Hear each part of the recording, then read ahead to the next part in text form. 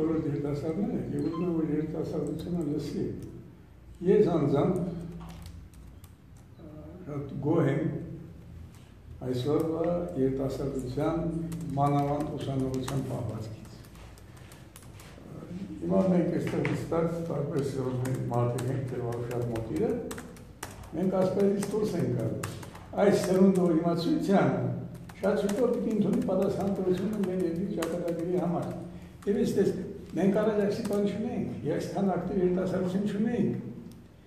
Եվ հիմա ես տեսնում հա երիտասարդություն, որը սկսում է զգալ իր պատասխանատվությունը Սխալներ են անում, են կոպի բաներ են անում, այս բոլորն հասկանալի է։ Բայց այս մեր երկրի ճակատագին վերջո պիտի իրենց սերտը վերցնեն այս ուսանողները, որոնք հիմա արդեն այդքան հարցված են մեր երկրի վիճակը։ Դաշնակցությունն առաջարկել է ստեղծել երկխոսության հարթակ Կարապարը լավ կարապար։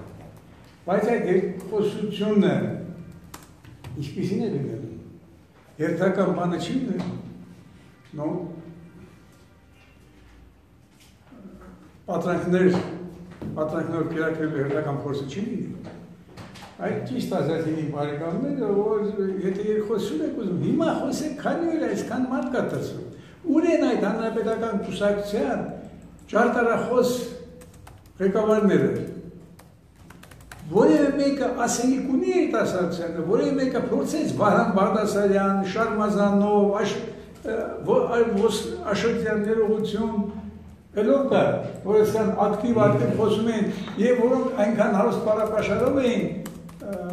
ներկայացնում իրենց տեխնազի վարչակցության։